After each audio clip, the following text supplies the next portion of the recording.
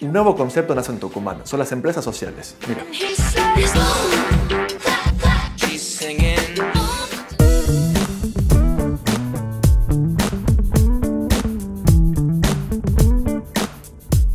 Hemos venido a una noticia increíble que vio la luz, porque viene creciendo hace tiempo, escuchaba, pero bueno, todo eso lo contrario. ¿Cómo está? Buenas noches. Bueno, buenas noches, gracias por venir. Estamos presentando ESER, la primera empresa social de la región, formada por personas con discapacidad y mujeres víctimas de violencia de género y en situación de vulnerabilidad. Bueno, esta es una empresa que tiene similitudes con la empresa tradicional, tiene objetivos económicos de ganar dinero, pero tiene una lógica diferente. Esta empresa no busca maximizar capital, eh, ni ganancias, sino que busca maximizar inclusión. Estos chicos, en la medida que le vaya bien, y está escrito en su estatuto, están obligados a ir incorporando a más personas, o sea, van a tener un crecimiento horizontal. La autoridad máxima en la empresa social es la asamblea.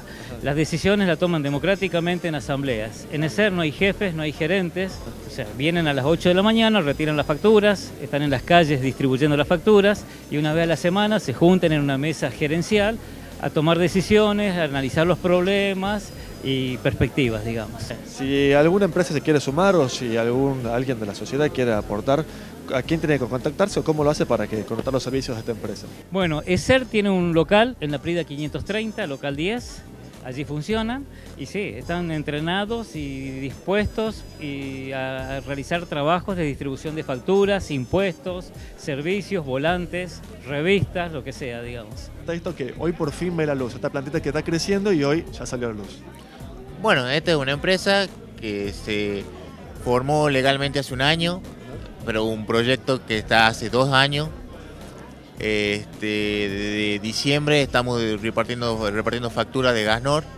Eh, tenemos la autorización para repartir este, facturas, ya sea de cualquier tipo de servicio, eh, publicidad, este, las revistas también. Hacemos digitalización y escaneo de legajo. Somos 15 con distintos tipos de problemas. Y bueno, y estamos en la lucha, digamos. La idea ahora es este, conseguir otros clientes para tratar de, agregar a otras personas que estén en las mismas necesidades. Podemos decir que ya estamos trabajando eh, bien, digamos. Gracias Santiago, felicidades. gracias.